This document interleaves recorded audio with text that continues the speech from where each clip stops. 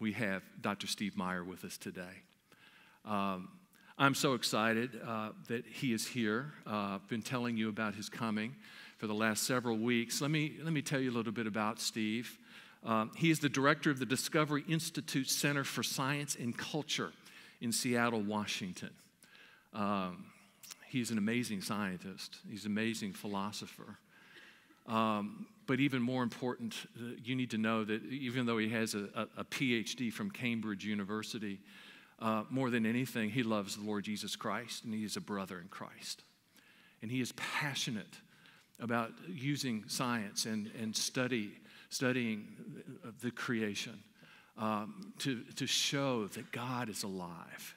And um, that, that, that's an important truth in this day of the new atheist, where there seems to be sweeping across our world a new, a, a new denial of the very existence of God.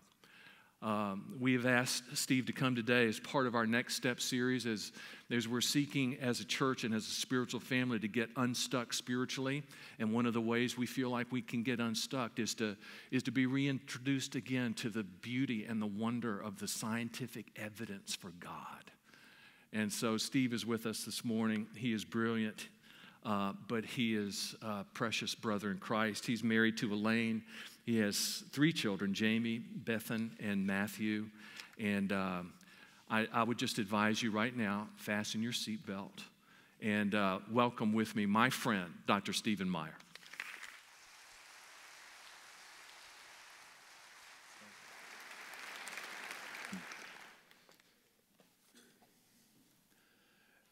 In 2006, there started a publishing phenomenon, phenoms in the publishing world. A new genre broke into the publishing world called the New Atheism.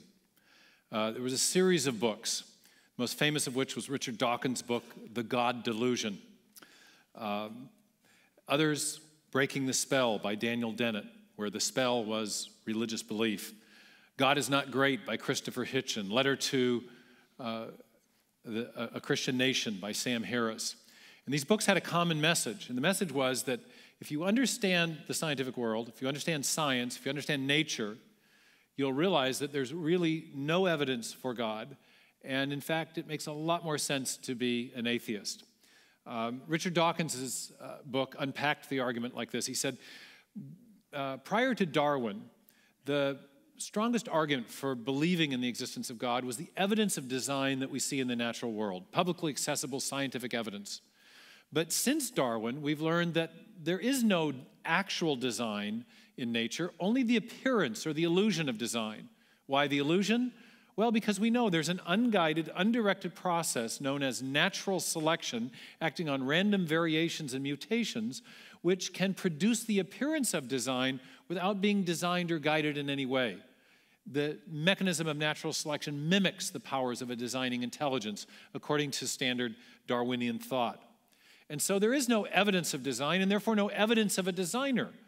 Dawkins says, well, that we haven't conclusively disproven the existence of God, but we have rendered belief in God so, science has rendered belief in God so incredibly improbable as to make belief in God effectively delusional. And that's his, that's his famous argument. Now, at the Discovery Institute where I work, we have a lot of interaction with young people, young people going into the sciences, young people reading our stuff. Uh, I used to be a college professor as well, and I know that these arguments are having a lot of traction in the culture, uh, certainly with younger people in particular. Uh, we, we have fielded a lot of questions about them, and I know they are very troubling to young people, not only because they deny faith, but also because they seem to deny the possibility of any purpose to human existence. You can't have a purpose driven life if there isn't a purpose beyond the universe. Uh, and so we've, we've actually had some very um, poignant conversations, not only with young people, in one case with the father of a, a bereaved father of a young person who uh, committed suicide after reading one of these books. Uh, he had been a Christian, he found himself unable to answer the arguments, he ended up losing his faith, losing hope, and um, they found the book, The God Delusion, under his bed after they found the body. Uh, so some of this is very, uh, this is a dramatic story, but uh, a true one. The young man's name is Jesse Kilgore. Uh, so these books are having a big influence in the culture with young people in particular. When we send kids off to college and they lose their faith in their first year, part of the reason is they're encountering this kind of a perspective. The perspective, though, is not just limited to um, young people, it's also affected our cultural elites. Um, I was actually saddened about a month ago to learn that George Will, a person whom I have a great admiration for, uh, acknowledged in an interview that he was an atheist. And one of the reasons for that, he said, is there just no evidence, no evidence, uh, no scientific evidence for the, for, for, the existence of God. And so this is a, a powerful perspective that's out there in the culture. Now, you won't be surprised to learn that the perspective of the new atheist is diametrically opposed, oh my goodness, uh, to Andy's very pastoral, reassuring me that I haven't like put the church on fire. Uh, so uh, it, this perspective is diametrically opposed, obviously, to the, the perspective of the Bible. If you go back to the Hebrew Bible, to the Tanakh, you find in the Psalms the affirmation that the heavens declare the glory of God and the skies proclaim the work of his hands. The idea there is that there's something about nature that points to the reality of the mind, the creator behind it. You find the same perspective in the New Testament, where Paul says, For since the creation of the world, God's invisible qualities, his eternal power and divine nature, have been clearly seen, being understood, and this is, the, I think, the key words, from what has been made. When you look at the natural world, when you look at what has been made, Paul affirms that you should be you, sh, you are seeing evidence of the reality of God and of his divine attributes, his power and his is, is, in the NIV it says the, the, his divine nature and some of the older translations translated that phrase in his wisdom. And so not surprising, the Bible and the new atheists uh, disagree. But what you may find surprising is that the new atheists are actually also stand their, their perspective stands in stark contrast to the perspective of the scientists who got modern science going, the founders of what historians of science call modern science, early modern science. Uh, this is a front piece or a uh, title page from one of the first great works of biology in the 17th century, uh, published by John Ray. And the title, The Wisdom of God Manifested in the Works of Creation, in two parts, it's a big book, um, is actually a paraphrase from the passage of the book of Romans that I just read a minute ago. The early scientists had a word, an important word, uh, a watchword, if you will, and the word was intelligibility.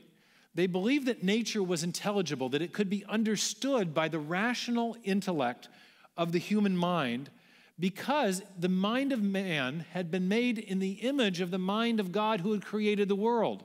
So there was a principle of correspondence. God had built rationality and order and structure and design into the world, but He'd also made our minds in a way that could understand it. Thus, nature was intelligible, and thus it made sense to study nature in a systematic way because nature had secrets to reveal that would be revealed if we studied nature closely.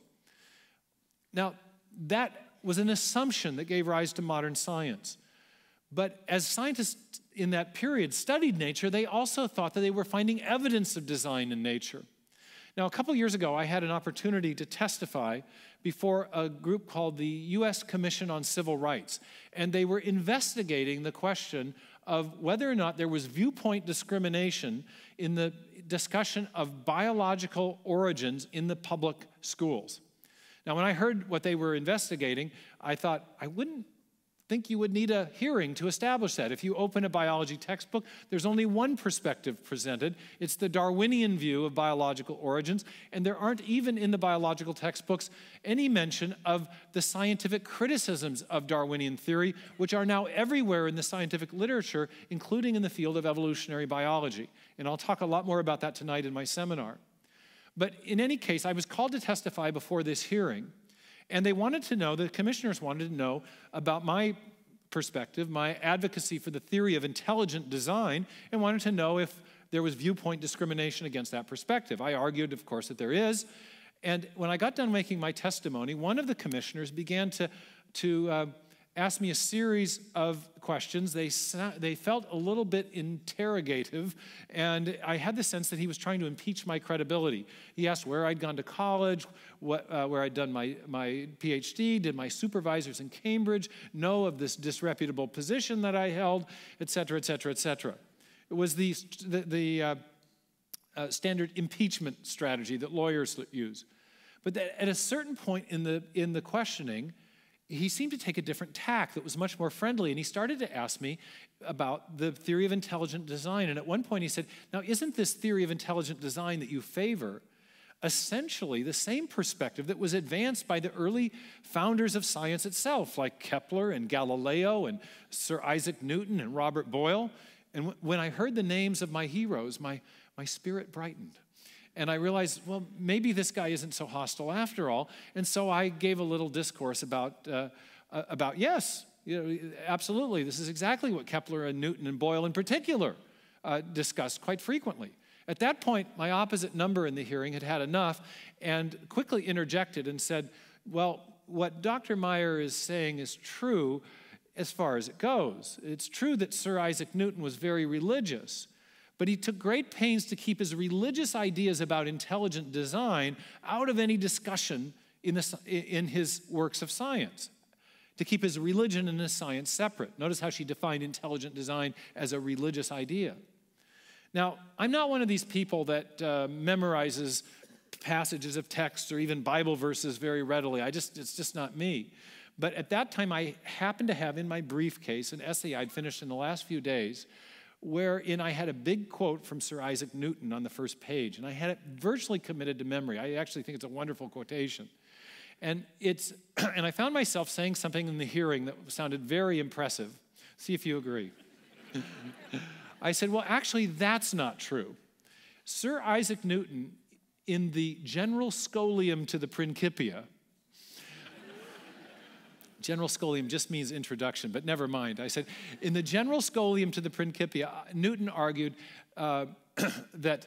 Um, uh, I said, in the General scholium to the Principia, arguably one of the greatest works of physics ever written, Newton argued as follows. And then I gave a, a, a rough paraphrase of this quotation, and I want to read it to you. Here's the background Newton was talking about the origin of the solar system. The Principia is the great work where he laid out his theory of gravitational force. And he explained in the, in the introduction that gravitational force was obviously the force that was at work everywhere and always in the universe, but it didn't explain the origin of the solar system because the forces of the gravitational forces between the different planets were so exquisitely balanced to allow them to have a stable orbit that, that the only explanation for that was something beyond just the mere force of gravity. And here's how he puts it Though these bodies may indeed continue in their orbits by the mere laws of gravity, Yet they could by no means have first derived the regular position of those orbits from the laws themselves. Thus, this most beautiful system of the sun, planets, and comets could only proceed from the counsel and dominion of an intelligent and powerful being, capital B. And so I said, actually, it's not true. His case for intelligent design was built into his greatest scientific works. Now, at that point in the hearing, it got rather interesting. A number of the commissioners suddenly smiled and started nodding, like, well, this could be more interesting than we thought. So, um, in any case, that raises a question How did we get from Newton to Dawkins? Where the, our perception of what science shows about the big worldview questions is, is now diametrically opposite. Newton was clearly a theist and a Christian of a kind and many of his, his colleagues at the time were really uh, Orthodox Christians. And now we have this new atheism. Well, there's a long story, and it starts mainly in the 19th century, where there was a big shift in the what you might call the philosophy of science or the worldview that seemed to flow out of science. Started in the early part of the 19th century. There was a book written by a French scientist named Pierre Laplace. It was called The Celestial Mechanics. And Laplace attempted to do exactly what Newton said you could not do, which was explain the origin of the solar system by reference to purely undirected processes all by themselves. And after he had published the book, the French Emperor Napoleon called uh, Laplace into the palace to receive commendation, probably mainly because he had shown up the British. And um, he was talking, and this is a, a, story that's told by historians that tell this. They're not sure if it actually happened. It may be apocryphal, but it definitely captures the spirit of the 19th century.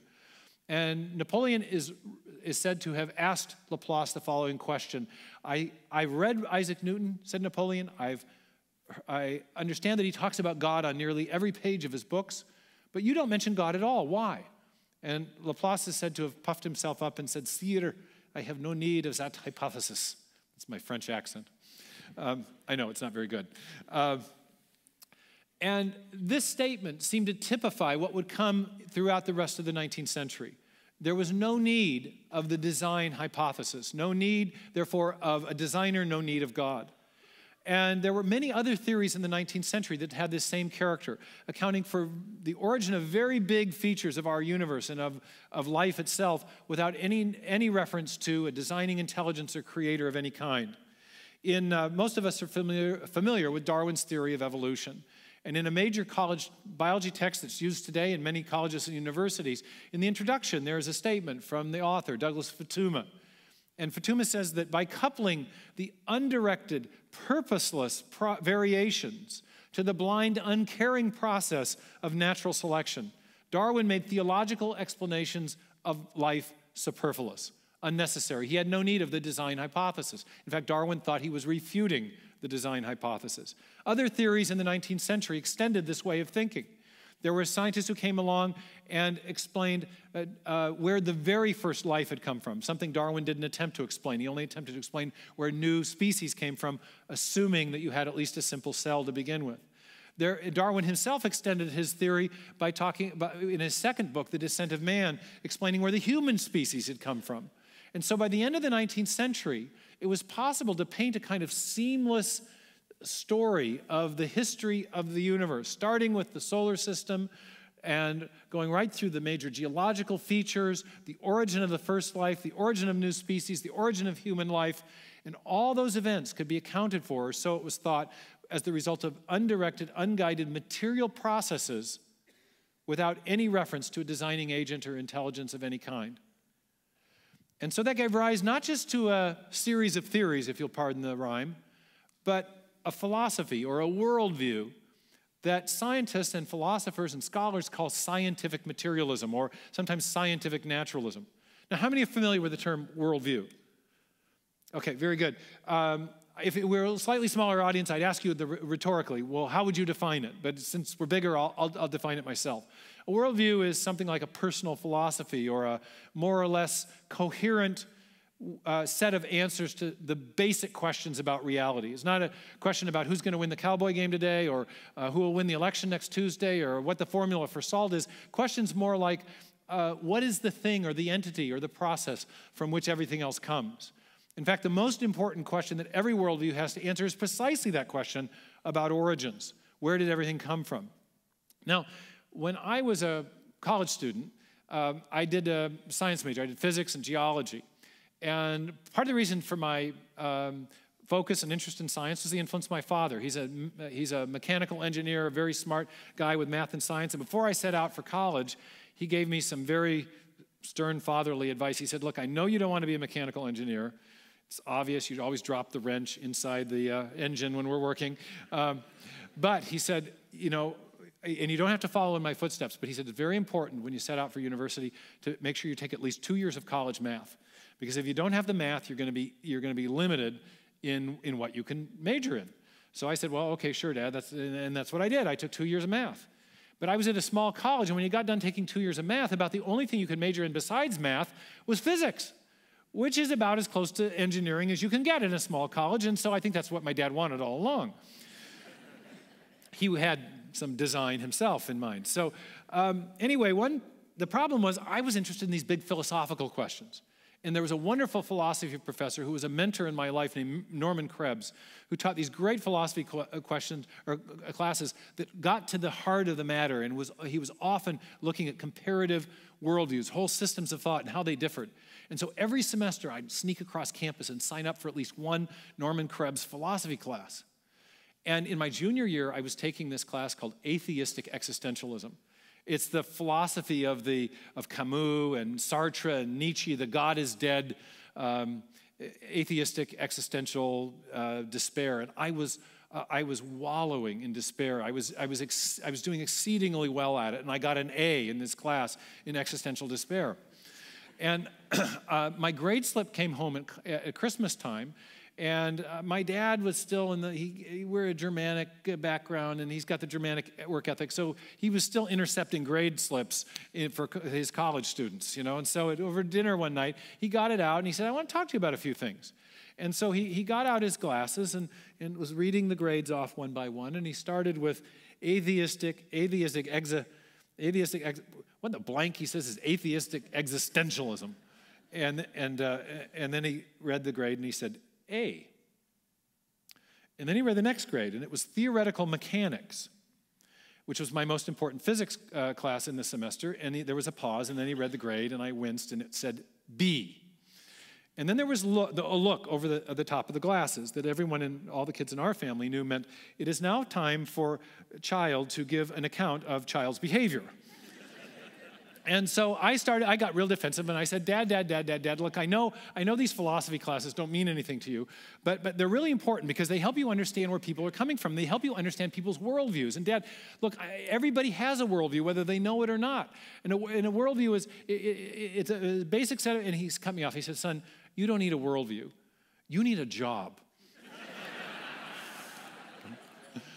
Now, I, I noticed that some of the fathers are, are actually not so appalled at this statement, you know, they, and, uh, and as a father now, I can, I can appreciate my dad's perspective. But uh, it, it is the case, nevertheless, that worldviews are important. And it, to understand what's going on in our culture today, we really do need to understand the default worldview, especially of our elite knowledge culture, uh, are the, the, the universities, the science departments, the media elite, um, the law schools, the courts, even the seminaries are affected by the worldview I was talking about a minute ago. In fact, I think it's the default worldview of these elite institutions in our culture. People in those institutions. They may not know where they came where it came from or why it's so persuasive, but it's what all the smart people seem to be thinking. And the, the worldview has a name. It's called naturalism, or it's called materialism, or the scholars call it scientific materialism or scientific naturalism because it is allegedly supported by science. And the worldview runs something like this it answers that big, important first question what is the thing or the entity or the process from which everything else came in very simple terms. It says that the thing or the entity or the process from which everything else came is material, it's matter and energy. Uh, I have a, a, law professor friend named Philip Johnson out at the University of California, Berkeley. He's now emeritus. And he uh, has been interested in this issue of, of, origins for a long time. And he, he paraphrases the materialistic worldview by reference to uh, the, the, the book of John, where it says, In the beginning was the Word, or Genesis, where it says, In the beginning God said. The theistic worldview says that there was a great omniscient creator who has a mind, who brought the material, material universe into existence and then shaped it. The materialistic worldview says just the opposite that not in the beginning, but from eternity past, there was this eternal, self existent material state. From eternity past were the particles.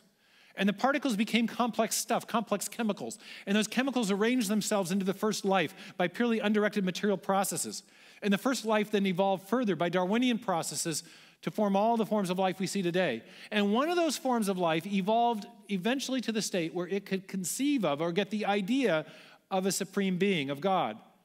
And so, in the materialistic worldview, there is the concept of God, but God only exists as a concept. It's matter first, and God is a concept at the end of the process. Whereas in the theistic worldview, it's God first, then matter, and matter is shaped to become all the things we see. The two perspectives could not be more different and they are vying for allegiance in our culture today. That's what a lot of the disagreements about, when you trace disagreements about the sanctity of life, for example, back to their root, it comes to these underlying assumptions about what the nature of life is and what the nature of ultimate reality is. So, this, is this is a, a, um, this is what's at work. Now, the bad news I have to report this morning, if you happen to be here as a believer in God, as a theist of some kind, is that this materialistic, naturalistic uh, view is the dominant worldview in the culture. And increasingly, people who have a theistic worldview are being pushed to the margins of the culture. One of the reasons that students go off to college and in the freshman year lose their faith in incredible numbers is they're encountering that worldview as the dominant way of thinking among all the smart people that they're looking to for guidance, advice, and who are teaching their classes. They feel like they didn't get the memo. And, and so it's, it's a real challenge to people of faith. Now, th- this little diagram behind me actually is just a, a way of depicting the materialistic worldview. The, the, the physical or the circle represents the physical world, the pendulum represents the laws of nature, and the, the guy being bumped by it is to indicate that even we are completely determined by our, our genes and our environment by these purely materialistic forces. That's the materialistic worldview. And then the Godbuster sign there, or the Ghostbuster sign, is to indicate that in the materialistic worldview, there is no need of that hypothesis, no need to postulate God to explain anything at all. Now, that's, in a sense, the bad news if you're a theist. And I'm going to pivot because there's some really amazing news. The materialistic worldview was formed in the 19th century.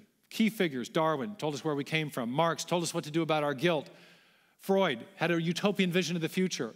Between the three, just these three great thinkers, they answered all the questions that traditional Judeo Christian religion has answered. But there's been a major shift in science. Whereas this worldview is allegedly based on science, there have been a series of discoveries in the 20th century that have decidedly anti materialistic implications. Indeed, I think they have theistic implications, and I want to explain why. The change started in the 19 teens and 20s.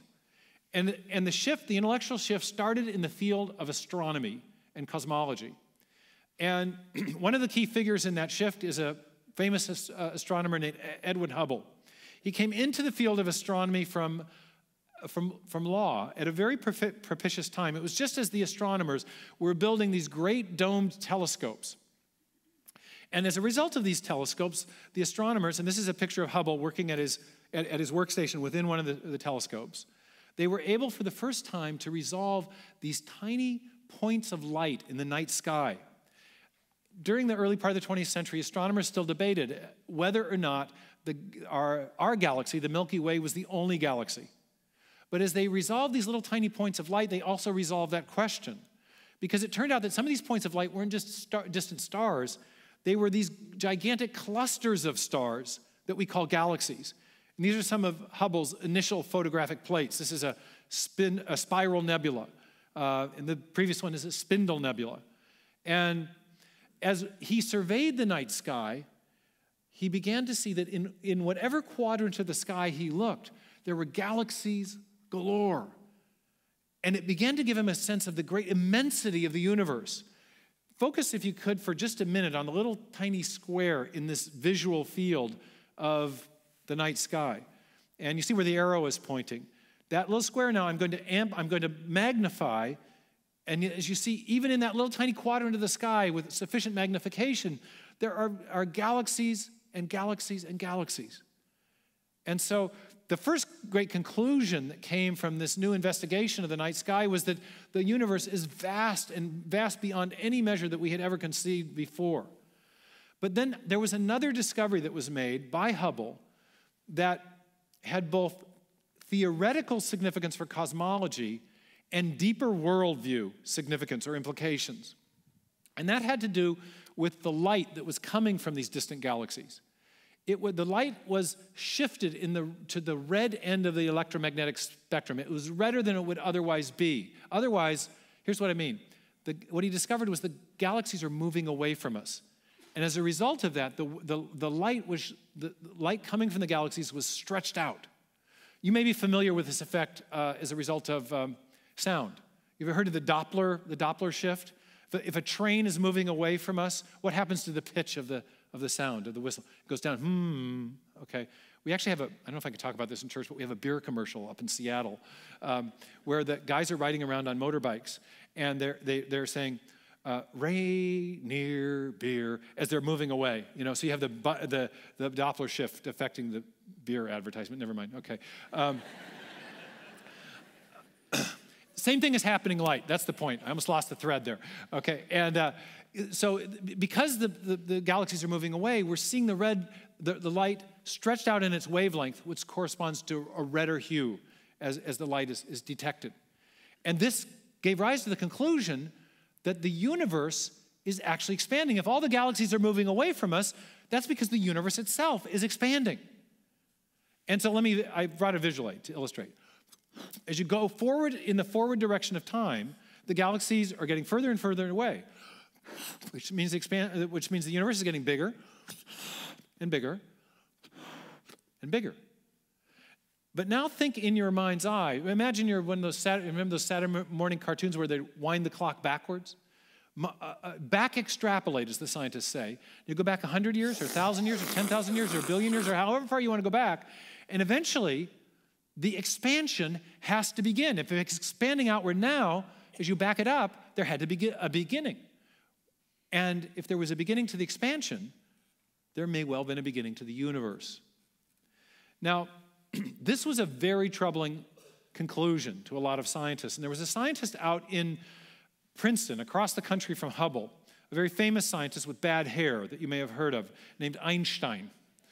And Albert Einstein had already come to the conclusion through his work in physics, uh, particularly his theory of general relativity, which was a theory of gravity. His idea was that, that as, if there were massive bodies, they would actually curve space create a curved gravitational field. And as he began to think of it, he realized that, that his theory implied that the universe was expanding outward from an initial beginning point. And that really troubled him. And because he didn't like the conclusion, because it actually seemed to contradict this philosophy of materialism, which at that time he was very sympathetic to, he postulated another force at work that would balance the force of expansion so that you would have a perfect perfectly static universe. This force was called the cosmological constant, and he gave it a value that would make everything work out. So the force of expansion and the force of gravity pulling things back would be exactly balanced. So you'd have this static universe with no beginning and no end. And he felt a lot better about that. The only problem was that the heavens talked back. And when Hubble learned about what Einstein was doing, and what his initial conclusion was that there was an expanding universe in the beginning, he invited him out to California to see the evidence of precisely that. And there's some famous newsreel footage of Einstein with Hubble and some other astronomers at the uh, Palomar Observatory at Mount Wilson in Pasadena, California. And the, here's Einstein looking through the telescope. And after he has his look, he comes out and addresses the media in his heavy German accent. And he says, I now see the necessity of a beginning. And he later says that his cosmological constant, his fudge factor, was the greatest scientific, uh, the greatest mistake of his scientific career. He didn't allow the evidence to dictate his conclusion. He had a philosophical prejudice. Now, what was the problem? Why was this so distressing? Well, there were other, there were other scientists who shared Einstein's prejudice, and they came up with other theories to try to get around the idea that there was a definite beginning. One of those scientists was Arthur Eddington, a prominent British uh, astrophysicist, and I want to read you his, his proposal. He says, philosophically, the notion of a beginning of the present order is repugnant to me. I should like to find a genuine loophole. I simply do not believe the present order of things started off with a bang. The expanding universe is preposterous. It leaves me cold. Now, in psychology, this theory is known as denial. Do you notice the first word of the quotation? Yes, philosophically, he doesn't like it. It's not that the evidence shows that there was not a beginning, it's that it, it, it, contradicts a philosophy that he's held in advance. And that philosophy is, again, materialism. And a later physicist, a number of years later, Robert Dicke at Princeton, explained what, why this was such a big deal. He said, An infinitely old universe relieves us of the necessity of understanding the origin of matter, the cause of the origin of matter at any finite time in the past. If matter itself comes into existence, if the universe begins at a certain point, we have to think about what caused the universe, which something be separate from or beyond the universe would need to be its cause logically speaking. And that suggests some kind of transcendent cause, and that's getting awfully close to the notion of a creator. Now, as if to underscore this conclusion, a few years later, 1968, two British physicists, Roger Penrose and Stephen Hawking. Hawking, the famous Cambridge physicist who's confined to a wheelchair, who has the Lou Gehrig's disease. Uh, and, and they uh, worked, did some further work on Einstein's uh, theory of general relativity, his theory of gravity, and they solved something called the field equations of general relativity. And Andy will be giving a quiz on that after I'm done. Uh, anyways, it's some heavy math, and uh, you know, it's not something that we can just uh, derive here. But the conclusion was interesting, and I think you can understand it intuitively. They showed that as you go back in time, further and further and further, the, the mass of the universe would be more and more concentrated. Because in Einstein's theory of gravity, mass is causing, causing space to curve, as you go back far enough, there's going to be a point where the mass is so densely concentrated that it's going to cause an infinitely tight curvature. At some point in the finite past, get, the, the, the space of the universe will be effectively zero. The curvature will be so tight that it corresponds to zero spatial volume. And that raises a huge question. How much stuff or matter can you put in no space? The, the correct answer is none. You're right. I mean, that's what you wanted to say. I know. Okay? And so the, the, the, the picture of the early universe that is, that is created by this profound theory in modern physics is one that is not dissimilar to the, the, the, medieval doctrine of creatio ex nihilo, creation out of nothing physical. And as a result of this discovery, the, the, the new cosmology, these discoveries in physics, there's been a, a, whole lot of discussion among philosophers about reviving the ancient cosmological argument, the idea that there must be a first cause beyond the universe to bring the universe into existence. Uh, in the Q&A tonight after my seminar, I'd be happy to discuss some of the different objections to this argument and, and the standing of it, but it's been a big shift in our intellectual landscape, and I think it has decidedly, decidedly theistic implications. Um, in fact, it affirms the very first words of the Bible, in the beginning. It affirms there was a beginning. Uh, and even in the New Testament, there's a discussion of how God's plan exists from before the beginning of time. Odd that the scripture would affirm that time itself has a beginning. It's precisely what modern physics is telling us as well. Time and space, matter and energy all begin in a singularity a finite time ago. Now, in addition to the developments in cosmology, there's some very striking developments in physics that I think have anti materialistic and decidedly theistic implications. And one of those developments is something called the fine tuning, the anthropic fine tuning. The idea is that there are certain um, features of the universe, certain attributes of the universe, uh, the, the, what physicists talk about the laws and constants of physics, that are delicately balanced to allow for the possibility of life. We live in a kind of Goldilocks universe where things are, uh, where, where forces are not too strong or not too weak. This expansion rate of the universe that I was talking about is, is finely tuned to one part in 10 to the 60th power.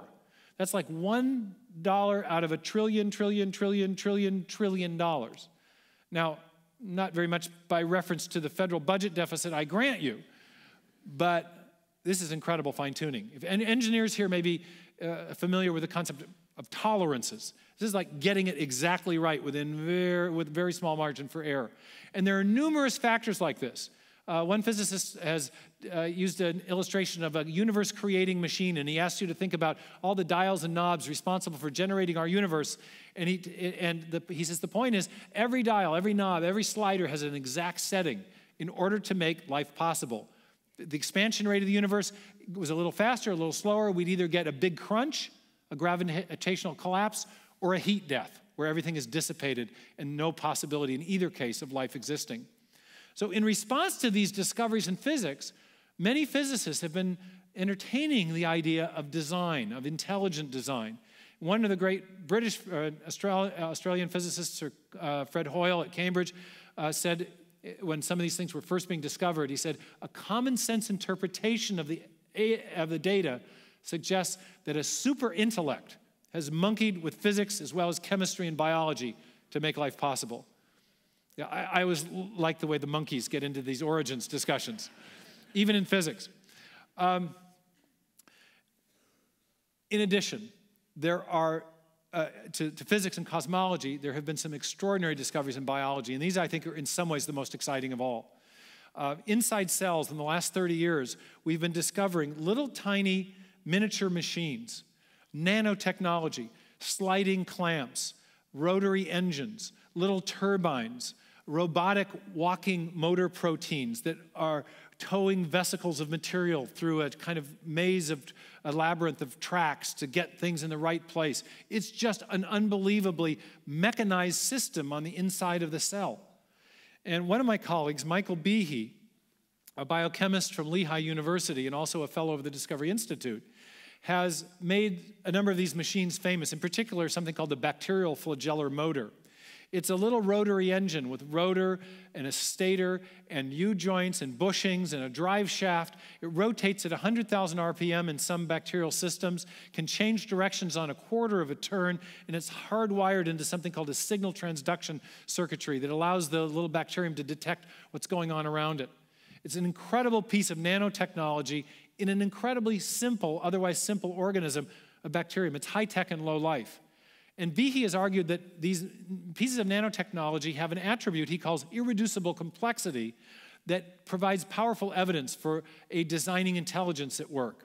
I won't recapitulate his argument. You can read about it in his great book, Darwin's Doubt, but partly because I want to talk about the part of this uh, discussion that I work on, which is not just the machinery, but the information, the instructions, the digital code that's necessary to build these tiny nano machines that we find inside cells. I used to ask my students a question. If you want to give your computer a new function, what do you have to give it? What would you say? Software? Code? Instructions? All of those are the right answer. Well, the great discovery of modern biology is that the same thing is true of life. If you want to build a new, um, a new animal or a new molecular machine, you have to have information. Uh, put your, uh, can you see that U joint in the bacterial flagellar motor picture I've got? It's a little animation still there.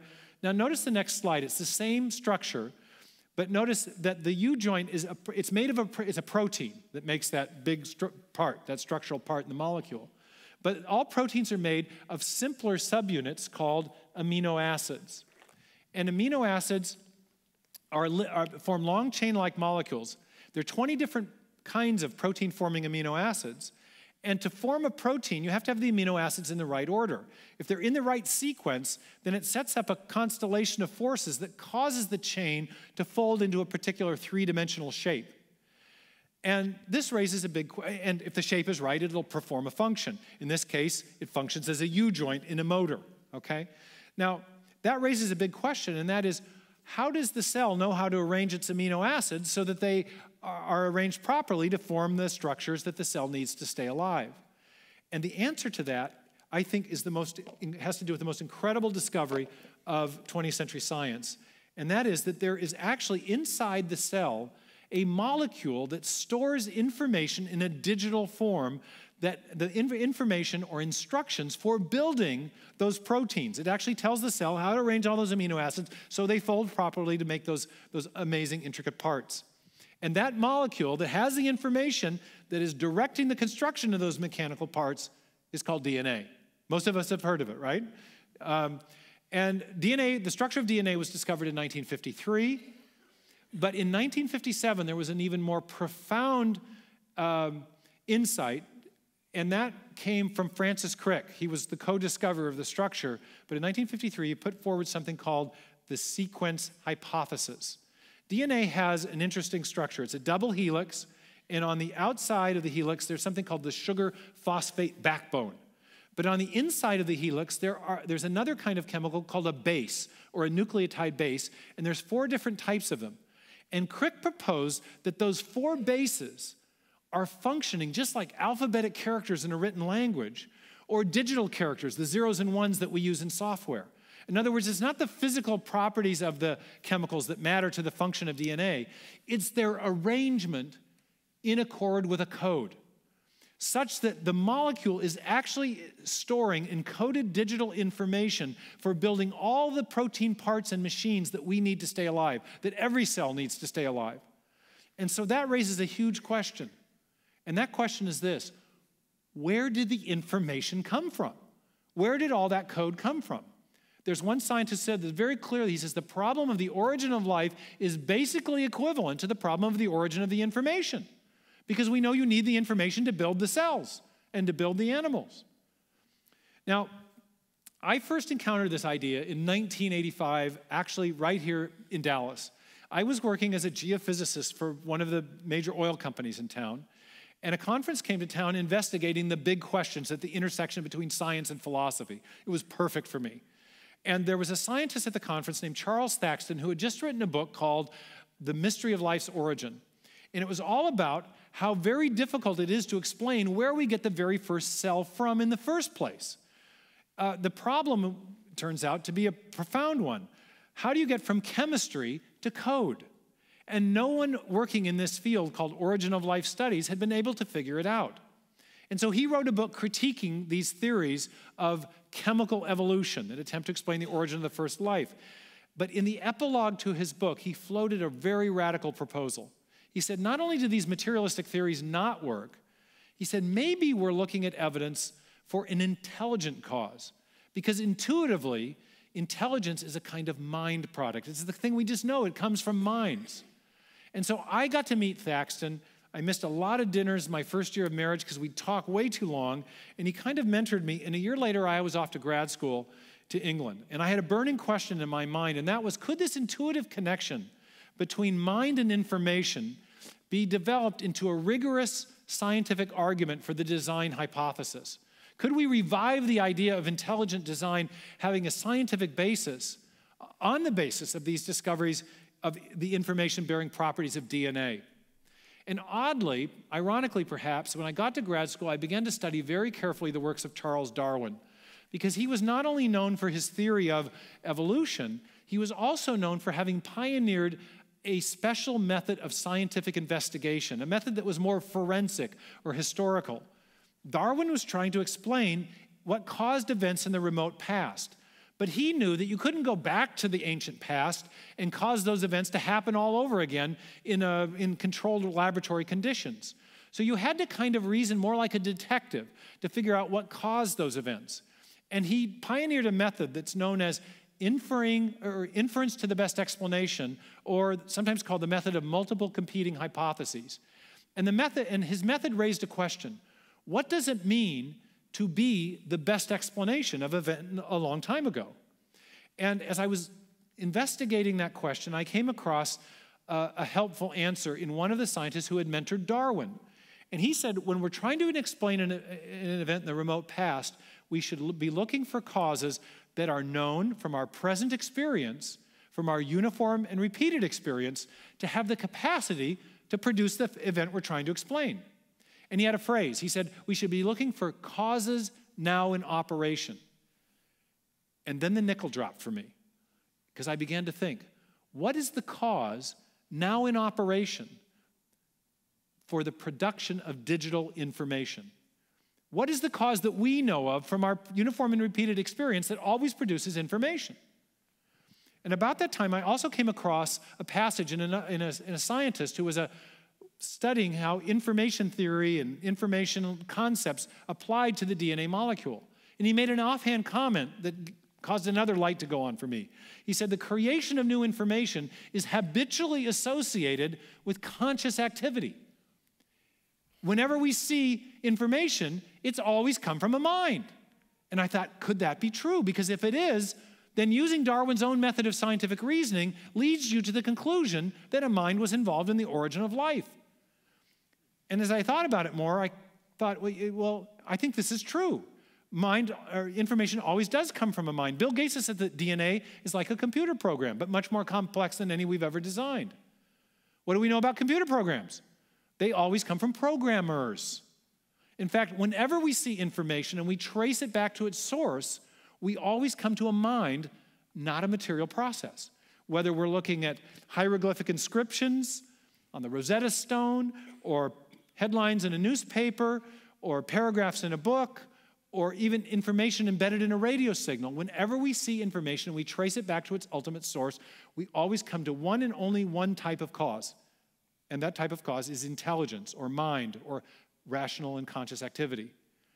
And so the discovery I've argued in my books that at the foundation of life we have information, that information is running the show in cells, and, the, and further discoveries that in periodic intervals throughout the history of life, we have new big infusions of information. These discoveries in biology, I argue, provide compelling evidence for the activity of a designing intelligence in the history of life. Not just the appearance of design, the illusions of design, but actual intelligent design. Now, as a result of all these things I've been talking about, a number of commentators, historians, and philosophers of science in particular, have, have noted that the God idea, the God hypothesis, is back. One historian, Frederick Burnham, says the idea that God created the universe is a more respectable hypothesis today than at any time in the last 100 years. And when I survey the evidence that we've just looked at, I, I not only agree, I think he's understated the case. I think theistic, the theistic worldview, with its affirmation of a transcendent, intelligent agent, namely God, provides a better explanation for the evidence that we've been looking at than the materialistic worldview or any other worldview that I've examined. What have we seen? We've seen evidence for a transcendent cause of the universe itself, and evidence that the universe had a beginning. We've seen that there's evidence for the design of the universe of, as a whole, the fine tuning of the laws and constants of physics present from the very beginning of the universe, providing evidence that that, that transcendent cause is also intelligent. And we've also seen that there's evidence of a designing intelligence acting in the history of life. So we're not dealing with a deistic creator, we're dealing with an agent that has the attributes that Jews and Christians have long ascribed to God transcend, transcendent, uh, sorry, transcendence, intelligence, and an active concern for his creation, infusing information, creating at, periodic times throughout the, the history of the universe. That sounds to me like the theistic conception of God. And so I conclude, as I look at the scientific evidence, that Richard Dawkins is wrong, and St. Paul in the book of Romans is actually right. Thank you very much.